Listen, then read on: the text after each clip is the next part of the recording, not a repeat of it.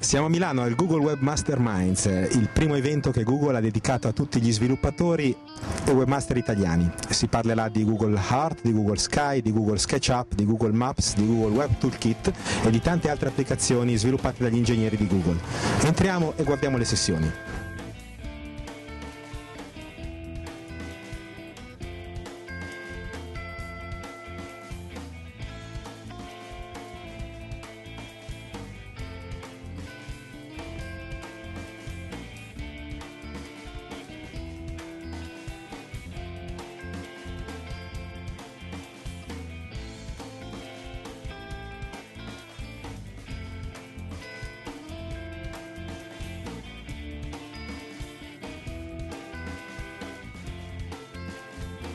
Siamo con Stefano S al Google Web Mastermind e con Stefano cercheremo di capire qualcosa in più sul presente e soprattutto sul futuro di Google. Stefano, parlaci un po' di te, cosa fai in Google, eh, un po' la presentazione. Ok, grazie. Io sono responsabile della comunicazione per il mercato italiano, quindi mi occupo di rapporti con le istituzioni, i media, le comunità di interesse, quindi le associazioni di consumatori, le comunità di business che possono essere Confindustria e altro, e mi occupo anche di lanci e di eventi in collaborazione con i vari dipartimenti marketing e di prodotto. E una domanda soprattutto a Stefano riguardo al mondo dell'advertising. Google si erge su due grossi pilastri che sono AdWords e AdSense. Eh, ci sono delle evoluzioni in programma? Cosa c'è nel futuro di Google in questo? Allora, diciamo che eh, li hai chiamati giustamente pilastri, quelli rimangono.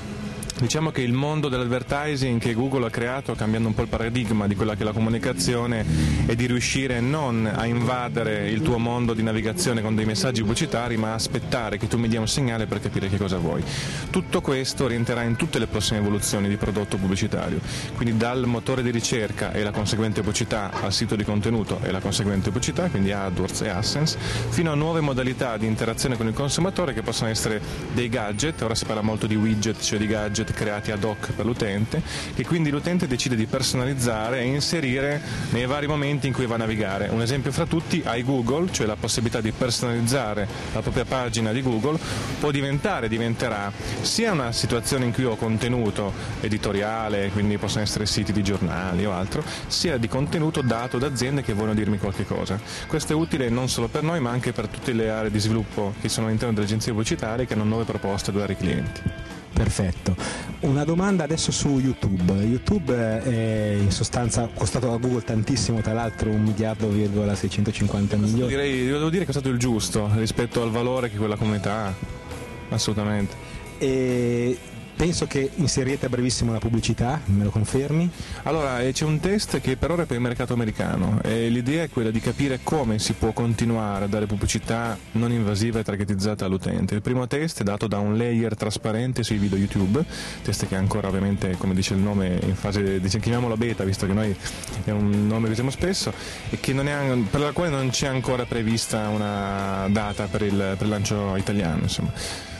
E mentre la domanda è questa, YouTube evolverà secondo te verso una web tv, visto che si parla tantissimo di questo fenomeno anche in Italia, evolverà o rimarrà più legato a questi video molto corti, molto brevi? Allora, lo spirito di YouTube è uno spirito in cui chi ha contenuto idee può creare quindi che siano consumatori, aziende, politici, università, ospedali, eh, quello è il contenitore giusto.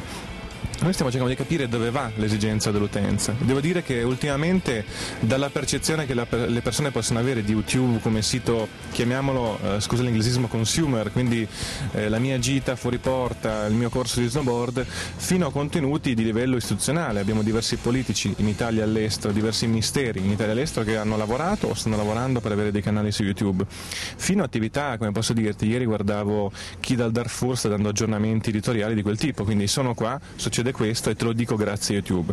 Quindi non so se evolverà verso una web TV come la conosciamo adesso, sicuramente evolverà verso diversi modi di fruire il video online così come viene concepito ora.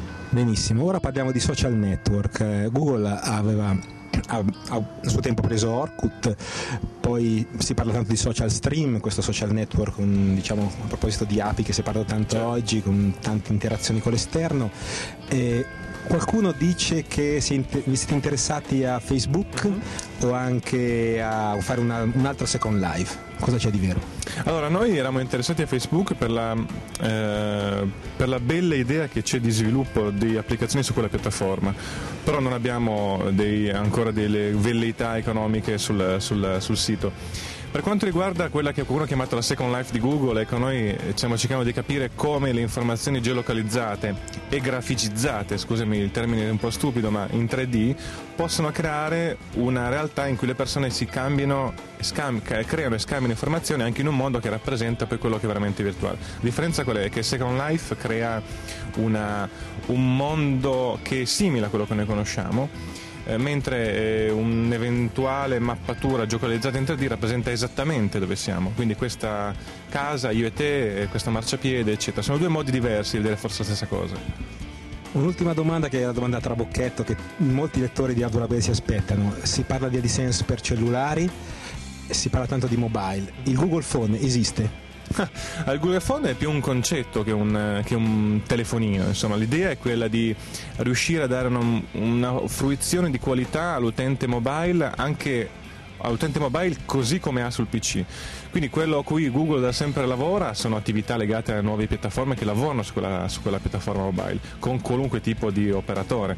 Quindi no, spero di non deludere nessuno per i regali di Natale. Insomma. Perfetto, ringraziamo Stefano e penso che ci vedremo al prossimo Google Web Mastermind. Ci okay. saranno altri eventi? Stiamo eh, sperando di riuscire a farlo il prima possibile, sarà l'anno prossimo, questa volta al sud. Grazie. Grazie a voi.